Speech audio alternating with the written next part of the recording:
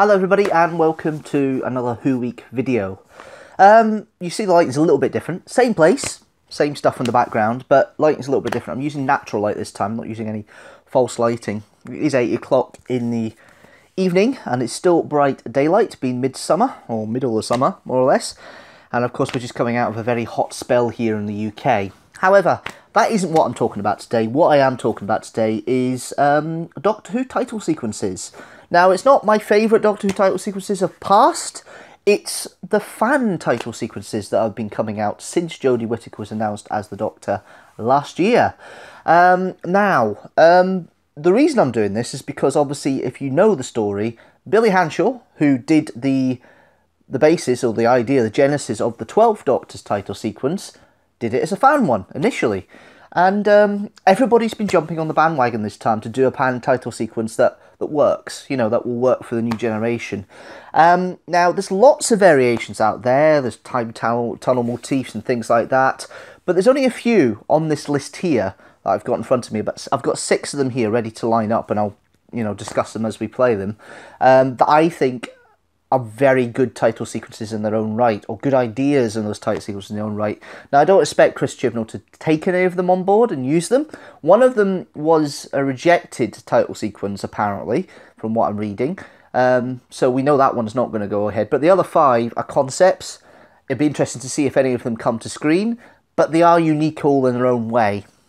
Now, here we go. Let's have a look at the first one, which is from a person called uh, a guy called Dave Burgess. Now, he is was known previously as Cloister Productions, and this is his title sequence that's been out since February, and um, we'll see, you know, you'll be able to see it on screen here as a comment. Let's have a look. That's his logo. Motion graphics and design, forgot about that.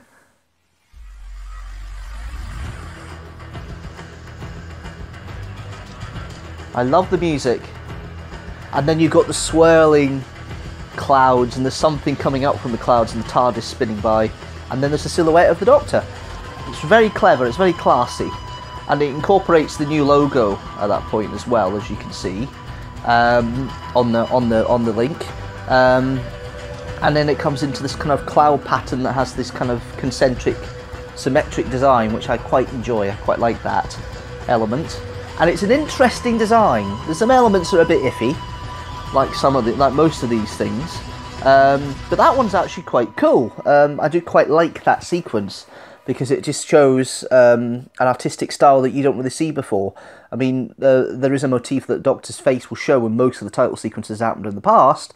This is another one of a different variation of it because the Capaldi ones just had the eyebrows. This one has a, a silhouette of the 13th Doctor in the famous picture that was one of the famous poses that's been released in the Doctor Who magazine. So that's where this comes from, and I do enjoy this one, and it's one of my favourites of the fan title sequences. The next one is one that I love the concept of. Uh, it, it is still travelling through space, but the way the concept works, I'm sure you'll agree when you see it. Now, this is by Walrus in the Matrix. Walrus, Walrus is in the Matrix, rather. Um, and you see it's kind of an ink splots coming up that creates the new scene, which I think is really, really cool. And um, he's let this to be allowed for anybody else to use, so obviously he doesn't think it's going to be the title sequence, but I love the music in the background as well. This theme is showing on other um, ones as well, but this is where it's most effective, I think. And then he goes into the title sequence, which is kind of a variation of the time tunnel that we've seen. The nice triangle look to it as well, kind of harking back to the old series. Now, that logo you see there is from this is the version 3 ink title sequence that he has. Um, now that's the one that it's got the new logo and the newer one but I like this one because of the elements that come to the end and this is a famous title everybody thinks it's the girl who fell to earth. We don't think it is anymore but that's what they thought at the time. Um, and the eyes coming out the eyes. It's ridiculous. It's brilliant um, and that was released on Hogmanay the 31st December last year, and he's done three or four variations of it. He, he updated it for the new logo, but doesn't quite work as well as far as I can see, so I prefer that one, the third version, which I think is a really good title sequence. Here we go to the next one, which is um, Jack Guidera. Um, and this is one that um, mixes a lot of elements, and it came out not long after Jodie Whittaker was announced.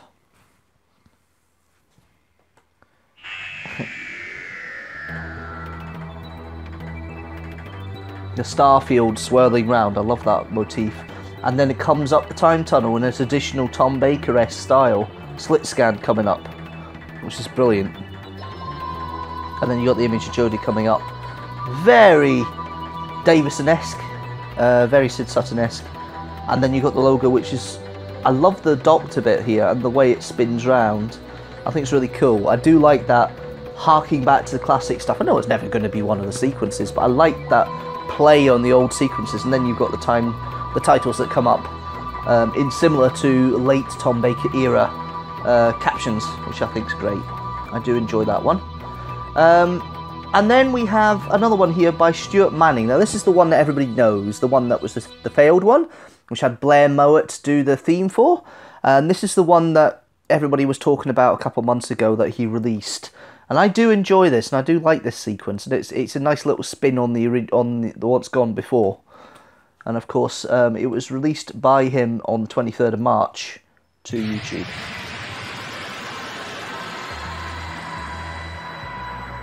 There's concentric lines for the time tunnel sequence, and just the way it works, it you know the way it comes through with all the sequences, and I love the the color scheme as well.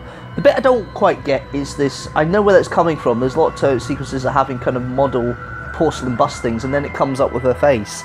It's not the best conception in the world, but I do like the overall feel of it. I think it's really a good sequence and it's very strong and of course it's got its own kind of font as well which obviously the new series has gone with as well it's a similar font that people are using now um, this one is one of the older ones but it uses the same theme you saw on the Walrus is in the Matrix video.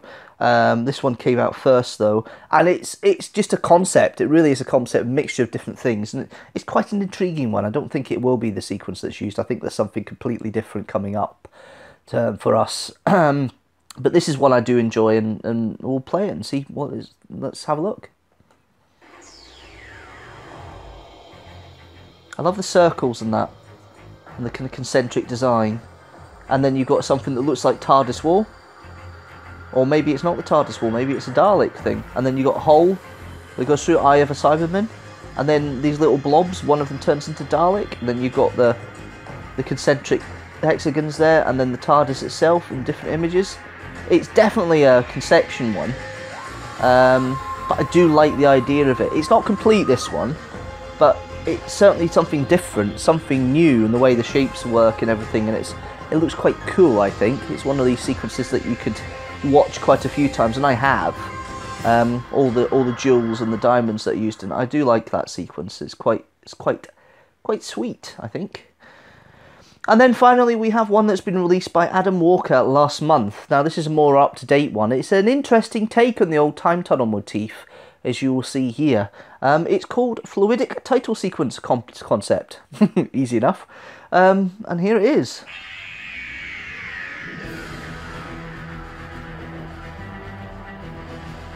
There's all this water and that coming through. I love the fact that it make it makes the time time tunnel look more like you know, something exotic than just this traditional time tunnel style we've had.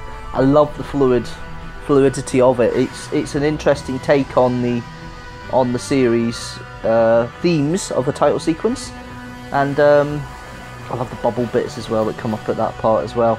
Um, oh yeah, yeah, yeah. You got the. they tried the eye. He's tried the eye motif again. Excuse me. He's tried the eye motif again, which works really well. Um, and I do like that sequence, um, and it's quite fun. So that's one of the more modern, that's one of the newer ones. Um, there's not been a lot the past few months that I quite like, and that one's that one's hit me quite well. I had originally five, and this one came in as a late runner, which was brilliant. Um, but what might well out this five, out of the six, which one do I like the best? Um, actually, I do like Walrus in the Matrix. Um, Walrus is in the Matrix uh, one. I think that's probably my favourite. Um, followed very closely by the uh, Stuart Manning one. I do like the Stuart Manning one. I think that's a very clever concept. Uh, it's a shame it's been rejected. We know it's going to be something different. I do like that concept. But out of those six, the links will be below of all the videos. Um, and tell me what you think. Let me know what you think and, and tell me what you think the best of those sequences are and which one you'd like to see in the new series um, as a title sequence if Chris Chibnall goes down that route. I doubt very much he will. He'll create a new one and use different graphics companies and everything to do it. But it's interesting to see these fan ideas come out of how the sequence will look. Um, and it's only three months away now, the, the whole new series, so it's, it's getting rather exciting. Anyway, that's it for now. Thank you very much for watching as always. If you like the video, don't forget to hit that like button. If you like any other videos related to Doctor Who, there's a comment, there's um, some, there's a playlist up there for the Doctor Who videos. I'm really stumbling today. um, but um, yeah, if you like what you see, don't forget to subscribe below and also comment. Let me know your thoughts about this video or any others in the on the channel. And I release a video every Sunday at 4 p.m. GMT. Next week, um, I'm doing a wee bit of a channel update. So um, stay tuned for that. But until then, thanks very much for watching and I'll see you later.